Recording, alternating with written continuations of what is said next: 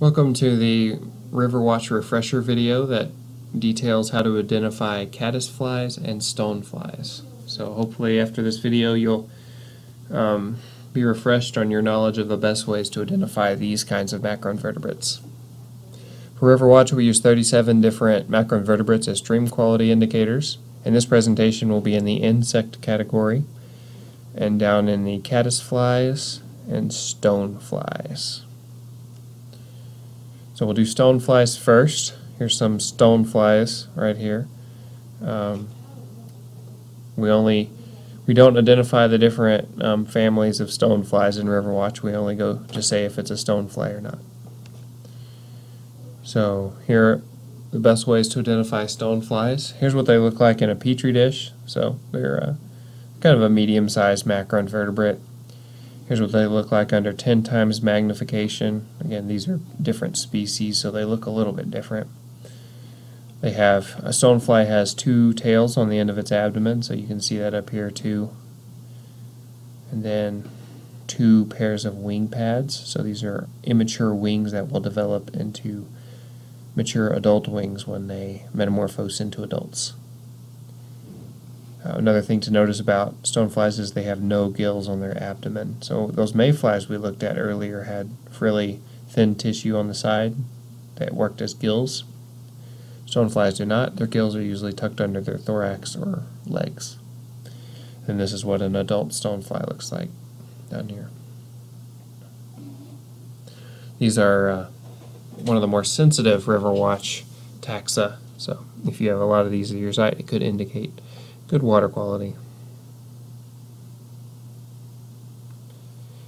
Next we're getting into the caddisflies. Uh, for the most part these are also pretty sensitive of pollution, not all of them. But uh, the best way to identify as a caddisfly is they look like a grub. They have three pairs of legs and then a hardened plate on the first segment of their thorax. That's how you know it's a caddisfly. And a lot of times they build these cases they live in. And then here's an adult up here. For Riverwatch we use the hydropsychid, saddle case, snail case, and other caddisfly categories. So starting with the hydropsychid caddisfly, this is one of the most, probably the most common caddisfly you'll find. They're also one of the most tolerant caddisflies. Uh, most people consider them facultative. Uh, they can tolerate some pollution. Not a whole lot, but some. These are also called net spinning caddisflies. They build a web on the stream bottom and filter out food particles. Over here is what they look like in the petri dish. They kind of curl into this C shape that most, most of you have probably seen before. If we look at 10 times magnification, you can kind of get a better feel for their features.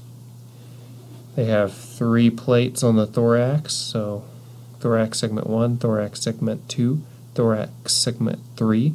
Each has a plate.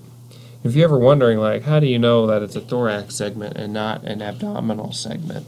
Well, if it has a pair of legs coming out of it, right here. So a pair of legs, pair of legs, pair of legs. That's a make, that's a thorax segment. So these all have three pairs of thorax segments. They also have gills on their ventral side, their belly, and they curl into this C shape a lot. They also have an anal pair of anal prolegs with claws coming off. So those fake legs, it's just a fleshy um, appendage with claws on the end to help anchor them in the flow. And then here's an adult down here. Next we have the snail case caddisfly. Uh, pretty easy to know, pretty, pretty easy to identify if you actually know these exist. I think these were originally described as a species of snail, a mollusk, when they were first found. But these are insects, in fact. So this is what they look like in a petri dish, kind of round um, aggregates of little gravel and sand. This is what they look like under 10 times magnification. You can see the snail shell spiral, spiraling in on itself. So it looks kind of like a like a planorbid snail or ram's horn snail. Um, and you can see their head and legs protrude out of a single opening. This is kind of what they look like under the microscope. You can see the uh, the thorax here and then the head. Here we have the saddle case caddisfly larva. This is the most sensitive of the river watch indicators. This caddisfly builds a dome-shaped case, has a flat bottom um, with smaller rocks, and then on top it has larger rocks that kind of form a dome or um, saddle case. Um, this caddisfly is unique in that it has two openings. It has one on the front for its head and one in the rear for its prolegs to protrude from. If you find the caddisfly outside of its case, um, it does have unique plates on the uh, last segment of the abdomen for protection when it is hanging out of the case like this. Um, and as far as uh, the thoracic plates, it only has one thoracic plate on top of its thorax. For Riverwatch, um, sometimes we, a lot of times we do come across uh, saddle case with uh, what's called closures. So these are little doorways that they've made um, out of vegetation. So you can see a saddle case right here, and it's made a, a closure over this opening and a closure over this opening, so it's a little bit tricky to see um, that those are actually openings, but the plant debris gives it away that that is a closure and not a completely sealed case.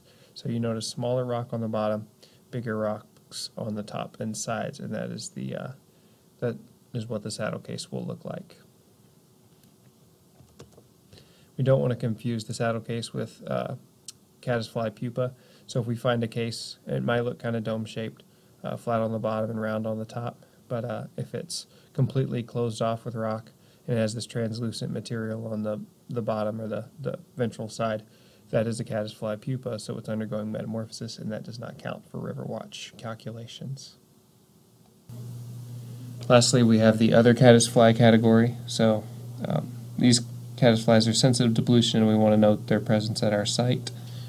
This is what they can look like in a petri dish, so different shapes, some made out of bark and sticks and gravel, leaves. Some of them are free living or you find them without a case. So closer look. So this is a uh, an other caddisfly. He doesn't. You may be easy to confuse him with a hydropsychid caddisfly, the one, the other one we just looked at without the shell, but he does not have three thoracic plates up here or those stringy gills on his abdomen or the prolegs back here. So this is what they look like. They can build their cases out of various things. The one thing they have all, all have in common is they have three pairs of legs and then a plate over their first thorax segment. Over here, some more other caddisflies zoomed in. There's that first plate on the thorax, no gills on the abdomen.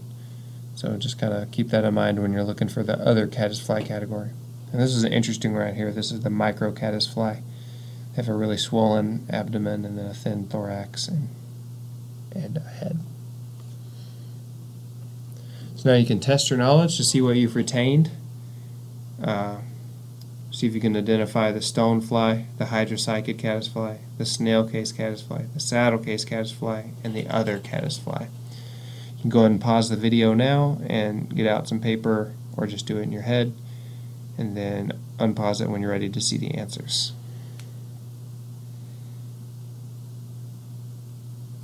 Right, now that you've put down your answers, we can compare them and see how you did. A is the saddle case caddisfly, the dome-shaped shell of rocks.